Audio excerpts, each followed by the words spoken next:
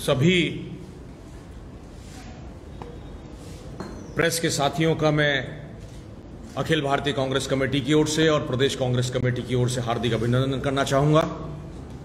और हमारे साथ में विराजे हुए प्रदेश कांग्रेस कमेटी के मीडिया सेल के चेयरमैन और अन्य हमारे सभी वरिष्ठ कांग्रेस जनों के साथ में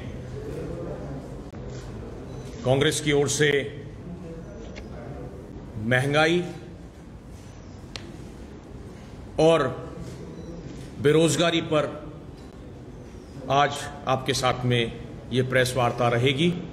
जय जगन्नाथ के साथ अपनी बात को रखूँगा क्योंकि उड़ीसा जो है, जगन्नाथपुरी से जाना जाता है। मैं इस मौके पे कहना चाहूँगा कि जिस प्रकार से बेरोजगारी और महँगाई देश में बढ़ी है एक समय था जब प्रधानमंत्री मोदी ने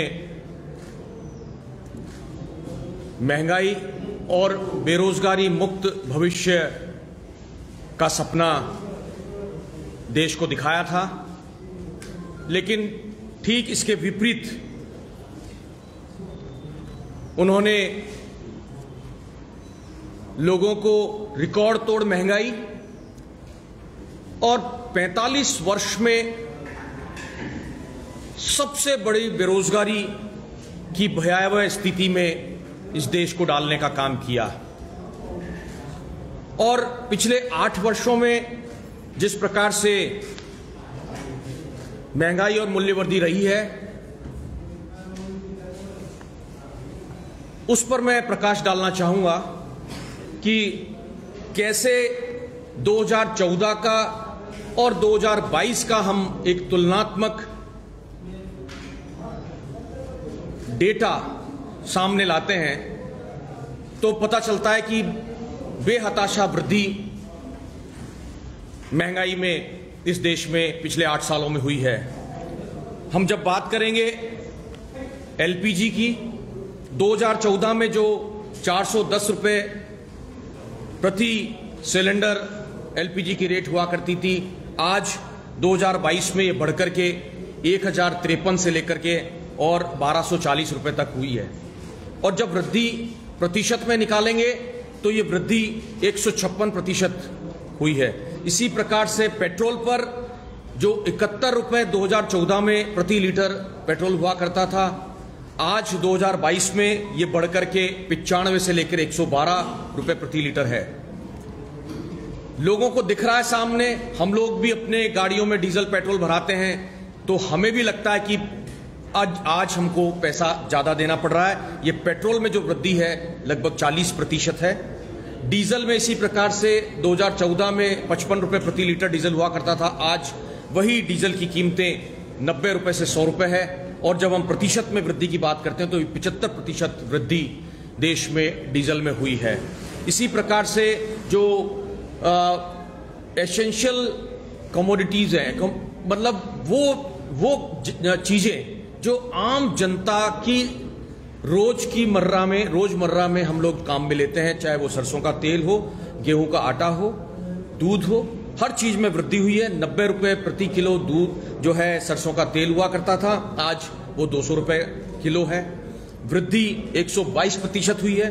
गेहूँ का आटा जहाँ बाईस रुपए था, वो आज 35 से 40 रुपए है। लगभग इक्यासी प्रतिशत की वृद्धि जो है गेहूँ के आटे में हुई है। दूध जो पैंतीस रुपए किलो 2014 में हुआ करता था, आज जब 2022 की बात करते हैं तो दूध की कीमत साठ रुपए प्रति लीटर है, जो इकहत्तर प्रतिशत की वृद्धि दर्शाता है। मैं इस मौके पर कहना चाहूँगा कि जहाँ 2014 में प्रधानमंत्री नरेंद्र मोदी सत्ता में आए थे तो उन्होंने केवल महँगाई को नियंत्रित करने की बात नहीं कही थी, रोज़गार की बात कही थी, लेकिन आज जब हम बात करते हैं तो ये सरकार 2014 से लेकर के अब तक न सिर्फ़ बेरोजगारी में अनियंत्रित रही है, महँगाई पर भी इस सरकार का कोई नियंत्रण नहीं रहा है, और उनकी गलत नीतियों और धोखेबाजी की वजह से आज देश के हालात बहुत ज़्यादा बिगड़ चुके हैं।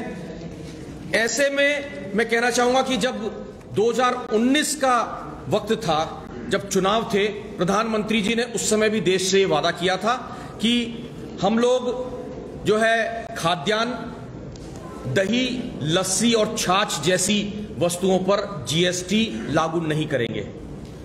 2022 में इन्हीं वस्तुओं पर जीएसटी लागू किया गया और आज जब हम बात करते हैं उसी 2019 के चुनाव की, उस समय भी प्रधानमंत्री मोदी जी ने उज्ज्वला योजना की बात जो है बढ़ चढ़ के की थी और उसके आधार पर उन्होंने वोट मांगा था। आज हालात ये हो गए जिस प्रकार से वृद्धि एलपीजी में हुई है, वही उज्ज्वला योजना का जो सिलेंडर है, उसे भरने की क्षमता एक आम आदमी की नहीं है, वो सिलेंडर खाली पड़े हैं, उज्ज्वला योजना पूरी तरीके से इनकी फेल हुई है, जिसके दम्ब पर इन्होंने 2019 में वोट मांगा था। ऐसे में जब हम बात करेंगे, उपभोक्ता परेशान है, आम जनता परेशान है, उज्ज्वला योजना के वो लाभार्थी जो हैं, वो भी आज परेशान है। ये दो ही उदाहरण नहीं है देश में। ऐसे अनगिनत उदाहरण हैं जो सरकार की विफलताओं को उजागर करते हैं, सरकार पूरी तरीके से जो है विफल रही है। हर कीमत पर खजाने को भरने की जो हताशा है इस सरकार की, मोदी जी की, मैं कहना चाहूँगा कि इसी के चलते इन्होंने अप्रत्याशित ईंधन कर जो है देश के ऊपर थोपा है और भारतीय उपभोक्ताओं की क्रय शक्ति को बहुत बड़ा आघात इसकी वजह से लगा है। पेट्रोल, डीजल और रसोई गैस की जो वैश्विक कीमतें हैं, वो आज की तारीख में घटी हैं 2014 के बनस्पत लेकिन उसका लाभ जो है, आम उपभोक्ता को नहीं मिला है। उस समय जो इंटरनेशनल पूल की कीमतें थी, वो कम थी। आज उस समय जो कीमतें थी, वो बढ़ी हुई थी। आज कीमतें घटी हैं। फिर भी उपभोक्ता को डीजल, पेट्रोल और एलपीजी के अंदर किसी भी प्रकार का जो है सहयोग कीमतों को कम करके नहीं मिल रहा है। हम अगर कच्चे तेल की बात करेंगे, मई 2014 में कच्चे तेल की कीमत 106 डॉलर प्रति बैरल थी, जो आज घटकर के 97.01 है। लेकिन उस वक्त पेट्रोल और डीजल की कीमतें इकहत्तर और पचपन रुपए थी। जब इंटरनेशनल पूल ज़्यादा था, तब कीमतें कम थी 2014 में। आज इंटरनेशनल पूल कम है तो कीमतें बढ़कर के पेट्रोल और डीजल की पिचानवे से लेकर 112 पेट्रोल और 90 से लेकर 100 डीजल है। ये समझ के पर है, इससे साफ़ ज़ाहिर होता है कि मोदी सरकार अपने खजाने को भरने की कोशिश कर रही है। इसी तरीके से एलपीजी की हम बात करते हैं तो 2013-14 में जिस प्रकार से एलपीजी की दर थी, आठ सौ इक्यासी डॉलर प्रति मीट्रिक टन, वो घट करके 670 आज हो गया है। लेकिन कीमतों के अंदर तीन गुना इजाफा हुआ है, जहाँ 410 रुपए प्रति सिलेंडर एलपीजी हुआ करता था, वो आज बढ़ करके एक एक हज़ार तिरपन से 1240 तक है।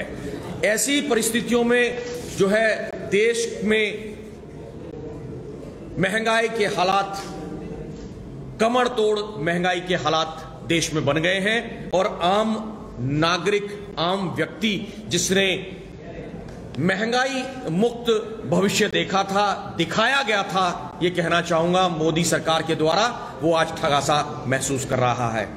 कच्चे तेल और रसोई गैस की इन्हीं इंटरनेशनल कीमतों के बावजूद जो है, किस प्रकार के हालात देश में हैं, ये किसी से छिपे हुए नहीं हैं। हम मोदी सरकार की दिशाविहीन नीतियों की जब बात करते हैं, बेरोजगारी की स्थिति को देखें तो एक विनाशकारी मोड़ देश ने ले लिया है, जहाँ नोटबंदी और जल्दबाजी में लागू किया गया जीएसटी कर प्रणाली। इन तमाम चीज़ों से जहाँ एक और अर्थव्यवस्था पूरी तरीके से देश में चरमरा चुकी थी, वहीं दूसरी ओर सार्वजनिक उपक्रमों को भी बेचने का कार्य मोदी सरकार कर रही है। और उसका सीधा फ़ायदा जो है, उनके स्वयं के जो है मित्रों को, जो कॉरपोरेट मित्र हैं, उनको मिल रहा है, पूंजीपति मित्रों को, वो उपक्रम हस्तांतरित किए जा रहे हैं। सरकार की युवा विरोधी नीतियों के कारण, केंद्र सरकार में आज की तारीख में लगभग 10 लाख पद रिक्त पड़े हैं, जो लगभग कुल स्वीकृत पदों का 42 प्रतिशत है। इसके अतिरिक्त जहाँ हम लोग बात करते हैं, एक विवेक शून्य अग्निपथ योजना लागू की, जिसमें युवाओं के लिए रोज़गार की संभावनाओं के के साथ खिलवाड़ करने का कार्य इस सरकार ने किया, जो सिर्फ़ रोज़गार के क्षेत्र में बेरोजगारों के साथ खिलवाड़ ही नहीं है। हमारी देश की सुरक्षा को खतरा भी इस योजना से निश्चित रूप से है। सशस्त्र बलों में शामिल होने की कल्पना और सपना देखने वाले बेरोजगार जो रोज, जो नौजवान हैं, उन्हें क्या सरकार देगी? किस प्रकार से ये हमारे देश के युवक युवतियों को चार साल के लिए संविधा के आधार पर नौकरी का प्रस्ताव दे, दे करके क्या कहना चाहते हैं ये देश के लोगों को समझने की ज़रूरत है जो किसी प्रकार की पेंशन की व्यवस्था या किसी भी प्रकार की कोई सुरक्षा की गारंटी इस अग्निपथ योजना में नहीं है। सरकार की इस इन विवेकहीन नीतियों के परिणाम निश्चित रूप से देश के लिए विनाशकारी है और लाखों युवा निराश होकर के नौकरी के बाज़ार से पलायन कर रहे हैं। ऐसी स्थिति में जहाँ पलायन के बावजूद जो 20 साल से लेकर के 24 वर्ष की आयु वर्ग के नौजवान, जो लगभग 42 प्रतिशत युवा है, वो चाहे वो पढ़ा लिखा है, चाहे वो स्नातक है या कोई पीएचडी की डिग्री प्राप्त भी है, वो लोग भी निम्न स्तर की नौकरियों के लिए, चपरासी स्तर की नौकरी जहाँ पर कम पढ़े लिखे कम कम पढ़ा लिखा होना भी चल सकता है, ऐसी स्थितियाँ पैदा हो गई कि वो लोग, पढ़े लिखे लोग भी ऐसे ऐसे नौकरियों के लिए आवेदन कर रहे हैं। देश के हालात किस तरह के हैं, ये सोचने की ज़रूरत है और वो युवा मजबूर है। ऐसी स्थिति में जहाँ देश के हालात बेरोजगारी को लेकर के और महँगाई को लेकर के बद से बदतर हो चले हैं, भारतीय राष्ट्रीय कांग्रेस पूरे देश में उन नौजवानों के साथ और देश की जनता के साथ कंधे से कंधा मिला करके खड़ी है और ऐसे वक्त पे जब हम बात करेंगे, चाहे संसद से सड़क तक की लड़ाई हो, कांग्रेस ने अनगिनत ऐसे कार्यक्रम किए हैं जो आम जनता की लड़ाई से जुड़े थे। संसद में भी हम लोगों ने आवाज़ उठाई और सड़कों पर उतर करके राहुल गांधी जी के नेतृत्व में अभी हाल ही में पाँच अगस्त को हम लोगों ने कार्यक्रम किया था, जिसमें हम लोगों ने संसद से विजय पथ तक जो है राष्ट्रपति भवन जाने की बात करी थी और राष्ट्रपति से मिलने की बात करी थी कि किस प्रकार से बेहताशा वृद्धि महँगाई पर हुई है। ऐसे में वहाँ रोका गया। सांसदों को भी, राहुल जी को, तमाम कांग्रेस जनों को और उन्हें डिटेन किया गया, पूरे दिन अरेस्ट रखा गया। ऐसे में जहाँ देश हित में जनता की लड़ाई के लिए कांग्रेस हमेशा तत्पर है, मैं कहना चाहूँगा कि पिछले जून 2021 से लेकर के अब तक पूरे एक वर्ष के अंदर लगभग सात देशव्यापी प्रदर्शन जो है देश की जनता के हितों के लिए, उनके अधिकारों की रक्षा के लिए भारतीय राष्ट्रीय कांग्रेस ने करने का कार्य किया सोनिया गांधी जी के और राहुल गांधी जी के नेतृत्व में। मैं इस मौके पर यही कहना चाहूँगा कि जो सपना और जो वादा देश से भारतीय जनता पार्टी की मोदी सरकार ने किया है, वो अपने वादे को पूरा करने का काम करे, पूरा करने का बीड़ा उठाए, ताकि देश के नौजवानों को और देश में बढ़ती हुई महँगाई पर लगाम लग सके और जो है देश के इन लोगों को जहाँ महँगी चीज़ें मिल रही हैं, उपभोक्ताओं को ज़्यादा पैसा देना पड़ रहा है, उन्हें राहत मिल सके। और मैं अपील करना चाहूँगा कि हम लोग राष्ट्रीय स्तरीय एक कार्यक्रम, महँगाई पर हल्ला बोल कार्यक्रम 4 सितंबर को राजधानी दिल्ली में रामलीला मैदान में करने जा रहे हैं। देश हित में जनता को भी इस भारतीय राष्ट्रीय कांग्रेस के इस कदम के साथ में मिलकर के लड़ाई लड़नी चाहिए, ताकि भारतीय राष्ट्रीय कांग्रेस के इस कार्यक्रम के साथ देश में चल रही सरकार को झुकना पड़े और महँगाई को कम करने के कदम ये सरकार उठाए, नौजवानों को रोज़गार देने के कदम ये सरकार उठाए, ये मैं कहना चाहता हूँ। इस संदर्भ में मैं चाहूँगा कि आप लोगों के अगर कोई प्रश्न भी हो तो वो भी आप लोग करें। इसके साथ लोकल यहाँ उड़ीसा की एक बात और करना चाहूँगा जो बेरोजगारी से जुड़ी है। मुझे आंकड़े प्राप्त हुए हैं उड़ीसा राज्य के। सरकार में लगभग अब तक स्टेट गवर्नमेंट में एक लाख बासठ हज़ार पद जो है रिक्त पड़े हैं। जिसमें सरकार किसी भी प्रकार का कोई कदम नहीं उठा रही है इन पदों को भरने के लिए। इसमें अस्सी हज़ार पद ऐसे हैं जो एंट्री लेवल से ही रिक्त हैं। हालात राज्य के कैसे हैं, ये आप लोग समझ सकते हैं। मैं समझता हूँ कि ये लड़ाई सिर्फ़ भारतीय राष्ट्रीय कांग्रेस की नहीं है, ये लड़ाई आम जनता की है, आप लोगों की भी है, मीडिया की भी है, बेरोजगार की भी है, और उस उन तमाम लोगों की है जो आज इस देश के इन हालातों में जो है सर उठा करके नहीं जी पा रहे हैं। देश की जनता की लड़ाई है, सबको मिलकर के इस लड़ाई को लड़ना है और इसमें आपका बहुत बड़ा योगदान मैं समझता हूँ कि मीडिया का हो सकता है इस लड़ाई को आगे बढ़ाने के लिए और सरकार को झुकाने के लिए हम सब लोगों को एकजुट होकर के मिलकर के लड़ाई लड़नी होगी। बहुत बहुत धन्यवाद। जय हिंद। धन्यवाद। I am extremely grateful to mister honourable Shriyukt Neeraj Tyagi ji he has address you at health now he invite question and I request you to raise question you have प्रश्न है अगर आप? जी।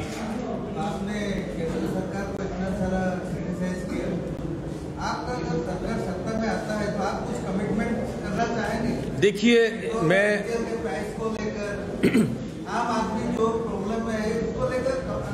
में कांग्रेस आता है तो आप क्या कमिटमेंट देखिए, मैं इसमें बहुत साफ़ कहना चाहूँगा, हमें परीक्षा देने की आवश्यकता नहीं है, क्योंकि हमने करके दिखाया है, जब इंटरनेशनल पूल हाई था, उस समय हमारी कीमतें लो थी, जब कांग्रेस सत्ता में थी 2013-14 में। और उस वक्त हालात देश के बहुत स्थिर थे, अर्थव्यवस्था शानदार थी पूरे विश्व में भारत एक अलग नज़रिए से अर्थव्यवस्था में देखा जाता था। आज पूरा उलट है मामला, जहाँ इंटरनेशनल पूल की कीमतें कम हुई हैं, वहीं महँगाई बढ़ गई है। ऐसे में निश्चित रूप से कांग्रेस जहाँ जहाँ सत्ता में और कांग्रेस देश में अगर सत्ता में आएगी तो हम हमारे वादों पर अडिग रहेंगे। ये महँगाई निश्चित रूप से कम होगी और देश की जनता को हम लोग वो जो है महँगाई मुक्त भारत देंगे जो भारतीय जनता पार्टी नहीं दे पाई है।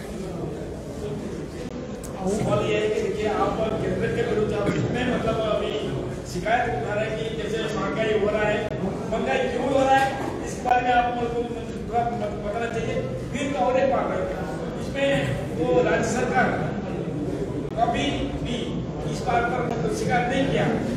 तो इसको, इसका मतलब राज्य सरकार के साथ मिली हुई है अगर महँगाई हो रहा है देखिए, मैं कहना चाहूँगा कि महँगाई क्यों हो रही है, उस पर मैंने प्रकाश डाला पूरी तरीके से। क्यों महँगाई बढ़ी है? क्यों महँगाई हो रही है? सरकार अपने खजाने को भरना चाह रही है। वो चाहे तो डीजल, पेट्रोल, एलपीजी के दाम कम करेंगे तो पूरी तरीके से पूरे देश में हर आवश्यक वस्तु की कीमतें भी कम होंगी। इसमें कोई दो राय नहीं है। राज्य सरकार अगर उनकी हाँ में हाँ मिला रही है तो निश्चित रूप से वो मिले हुए हैं और यहाँ हमें समझना होगा, चाहे बेरोजगारी हो राज्य में या महँगाई की बात हो, यहाँ लड़ाई लड़नी होगी, आम जनता को भी कांग्रेस के साथ साथ सड़कों पर आना होगा।